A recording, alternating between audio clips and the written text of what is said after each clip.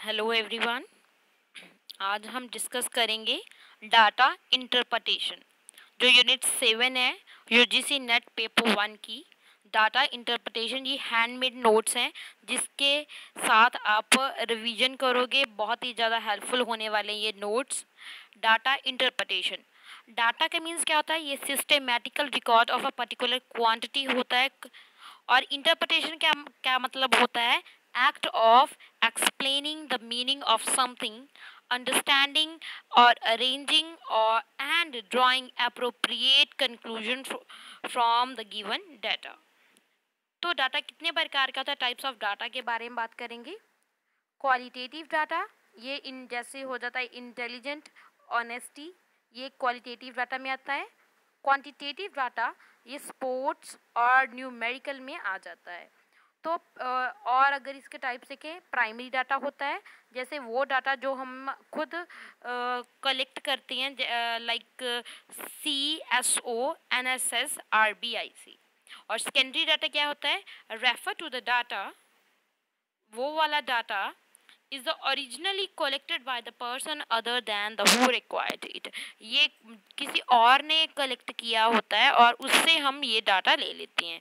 It's collected than who it's collected is relatively less costly than the collection of the primary data तो ये costly होता है तो less costly होता है, यानी कि कम खर्चे वाला होता है, जो प्राइमरी डाटा है, उसमें बहुत खर्चा आ जाता है, क्योंकि आपको खुद सब कुछ करना पड़ता है। इससे जो सेकेंडरी डाटा है, उससे वो आप जिसने किया है, उससे वो अपना काम चला सकते हो। Two source of a data in statistics तो डाटा की क्या स्टैटिस्टिक्स हैं? डाटा स्टैटिस्टिक में डाटा की क्या सोर्सेज हैं? स्टैटिस्टिकल सोर्सेज क्या हैं? Refers to the data that are collected for some officially purpose and include census and official conducted survey non statistical sources क्या है? Refer to the data that are collected for other administrative purpose जो और administrative perspective से हम इकट्ठा करते हैं, उसको नॉन स्टैटिस्टिकल सोर्स बोलते हैं और स्टैटिस्टिकल सोर्स वो होते हैं, वो जो डाटा जैसे हम सेंसस के लिए कलेक्ट करते हैं। तो आगे है statistical data are classified in respect of a their a characteristic in a four types अगर इसके करेक्टरिस्टिक्स पे बेस्ड इसको फोर टाइप्स में हम डिवाइड कर सकते हैं डाटा को। नंबर वन पे है क्रोनोलॉजिकल क्लासिफिकेशन इसमें ऑर्डर ऑफ़ टाइम से हम इसको क्लासिफाई कर रहे हैं।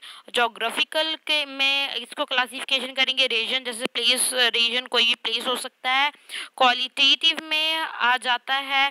On the basis of religion sex attribute general in words a letter like a hair colour blood etcetera quantitative में क्या आ जाता है? वेट हाइट ये ऑलवेज इन नंबर्स होता है।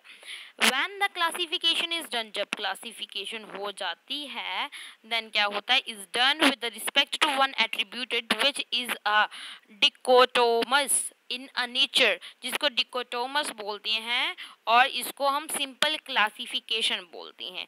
अगर हमने क्लासिफिकेशन कैसे करते हैं? अगर हम बोलें तो अगर पॉपुलेशन की क्लासिफिकेशन करनी है तो हम इसको टू पार्ट्स में डिवाइड करेंगे कितने मेल हैं और कितने फीमेल हैं। ये सिंपल क्लासिफिकेशन होती है। और आगे आ जाता है मैनीफोल्ड क्लासिफिकेशन मैनीफोल्ड क्लासिफिकेशन में क्या होता है? वे टू और more attributes are a consider and several classes are formed is call जिसमें एक बहुत ज़्यादा क्लास मीन्स क्लासेस बनाई जाती हैं लाइक जेंडर जेंडर में मेल और फीमेल और उसके भी आगे मेल में कौन लिटरे कितने लिटरेट हैं और कितने इलिटरेट हैं। ऐसे फीमेल में कितने लिटरेट हैं और कितने इलिटरेट हैं, ये मैनीफोल्ड क्लासिफिकेशन होती है। नेक्स्ट आ जाता है टेबुले tabulation of data tabulation of data क्या होता है? A table is a systematic arrangement of classified data in the column and a rows. जो column and rows में हमें कोई भी डाटा जो collect किया है उसको columns and rows में systematically arrange करने को हम tabulation बोलते हैं Researcher often prefer to use a qualitative data over qualitative data. वो जो रिसर्चर होते हैं वो ज़्यादातर वो क्वांटिटेटिव डाटा को प्रेफर करते हैं रादर देन क्वालिटेटिव डाटा पे because it lends itself more easily to mathematical analysis तो इससे एनालिसिस करना बहुत ईजी हो जाता है अगर हमारे पास जो डाटा है वो नंबर्स में है क्वान्टिटेटिव uh, में है। All data that are result of continuity are called a quanti quantitative data इसकी एग्ज़ाम्पल है एग्ज़ाम्पल के ज़रिए आप बहुत अच्छे से समझ सकते हो, जैसे if you and your friend carry back backpacks with the books in them to school. The numbers of the books in the backpacks are a di discrete uh, data and the weight of the book package are a continuous data.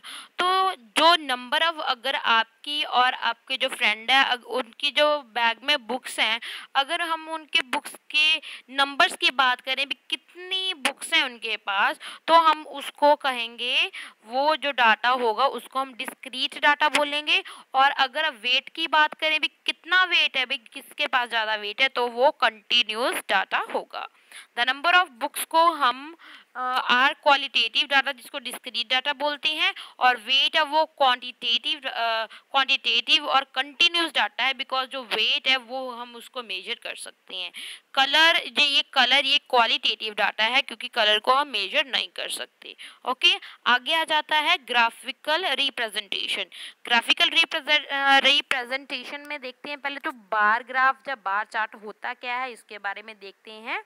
Given quantitative quantities can compared by the height or the length of the bar graph तो जैसे आप ये देख पा रहे हो slide में कैसे ये बार ग्राफ्स हैं, इस प्रकार से हम इस, इसको हम बार ग्राफ बोलते हैं, जिसमें हम हाइट और कंपैरिजन इजीली कर सकते हैं। In bar graph the data is discrete और इसमें ये डिस्क्रीट डाटा होता है। यानी कि जैसे हमने डिस्क्रीट की हमने बात की थी, जैसे जिसमें नंबर्स होते हैं। Types of a bar graph जो बार ग्राफ के क्या क्या टाइप्स होते हैं? एक तो सिंपल बार ग्राफ होता है नेक्स्ट होता है कंपोसाइट बार ग्राफ देन होता है stacked bar chart number four पे होता है bar chart to a show deviation तो नंबर वन पे जो सिंपल बार ग्राफ है, वो देख सकते हो, ऐसे होता है। Okay okay? ये देख सकते हो आप स्क्रीन पे। नेक्स्ट सेकेंड नंबर पे जो कंपोसाइट बार चार्ट है, ये इस टाइप से होता है। इस एक ही जो चार्ट है, उसमें हम अलग अलग से तीन सीरीज़ जैसे ये अलग अलग सिंबल्स हम दे सकते हैं। जैसे स्टैक्ड बार चार्ट होता है स्टैक्ड बार चार्ट होता है can can show a profit and loss in a single bar तो हम एक ही बार ग्राफ में प्रॉफिट एंड लॉस बता सकते हैं। बार चार्ट क्या है जी? जो बार चार्ट होता है, उसमें हम क्या शो करते हैं? जो बार ग्राफ होता है, उसमें हम पॉजिटिव और नेगेटिव दोनों भी शो कर सकते हैं। जैसे जो पॉजिटिव है, वो वो ऊपर की तरफ़ और जो नेगेटिव होता है, वो नीचे की तरफ़।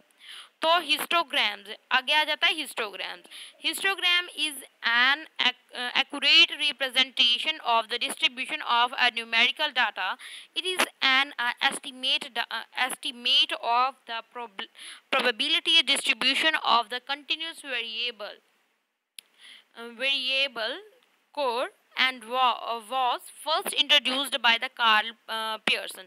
Carl Pearson ने इसको हिस्टो हिस्टोग्राफ ग्राम को इंट्रोड्यूस किया था bar graph related to variables इससे टू वेरिएबल्स होते हैं बट हिस्टोग्राफ में सिर्फ़ वन वेरिएबल होता है जिसको ये डाटा और सारा एक दूसरे से कनेक्टेड होता है इसको हम हिस्टोग्राम्स बोलते हैं आगे आ जाता है पाई चार्ट पाई चार्ट क्या होता है? It is a circular statistical graph ये सर्कुलर स्टैटिस्टिकल ग्राफ होता है which is divided into slice ये स्लाइस में होता है, इसमें जो टोटल डाटा डाटा होता है वो 360 डिग्री का न्यूमेरिकल प्रोपोर्शनल का होता है.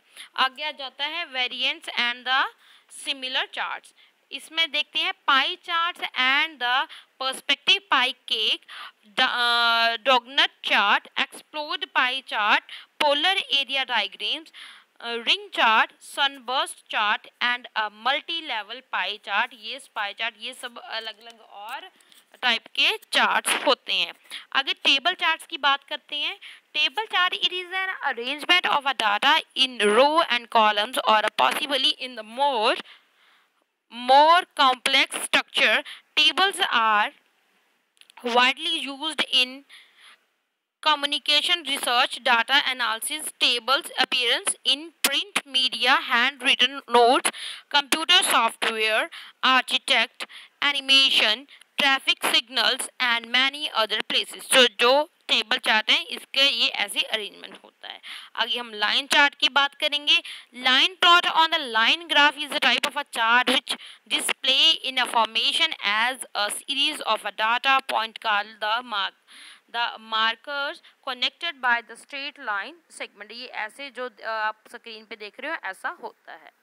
नेक्स्ट आ जाता है डाटा मैपिंग डाटा मैपिंग क्या है? ये एक प्रोसेस होता है जो used in a data data warehousing by which different modes are are linked linked to each दो, जो एक डाटा है, दूसरे के साथ लिंक्ड करता है, एक दूसरे के साथ लिंक्ड करता है using a defined set of a method to characterize data in a specific definition आगे हम बात करेंगे डाटा एंड गवर्नेंस के बारे में।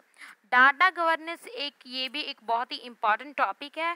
Data governance is the overall management of the availability usability integrity and security of the data इसकी proper definition देखें अगर डाटा एंड गवर्नेंस की related to the strategy used used for availability integrity and security of data it deals with the framework and policies for uh, storing encrypting taking backup of data accessing and using data protection into privacy etc open government data OGD platform India तो data government ये data dot Gov dot in is a platform है जिस पे हम अपना जो data है government का डाटा है, वो हम अपना एक्सेस कर सकते हैं।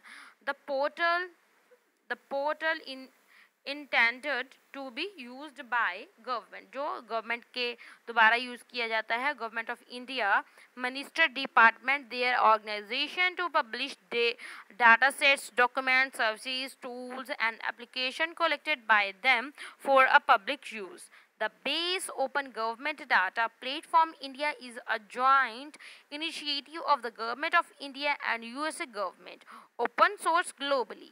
The entire product is available for the download at the open source code sharing platform GitHub, जिसको हम GitHub के नाम से जानते हैं। फिर आ जाता है O G D O G D एक प्लेटफॉर्म है इंडिया में, जिसके चार मेजर मॉड्यूल्स हैं, जैसे डाटा मैनेजमेंट सिस्टम है कंटेंट मैनेजमेंट मैनेजमेंट सिस्टम है विजिटर रिलेशन रिलेशनशिप सिस्टम है, और कम्युनिटीज़ है। आई होप आपको ये अच्छा लगा होगा। आपकी रिवीजन हुई होगी। थैंक्स फॉर वॉचिंग पढ़ते रहिए।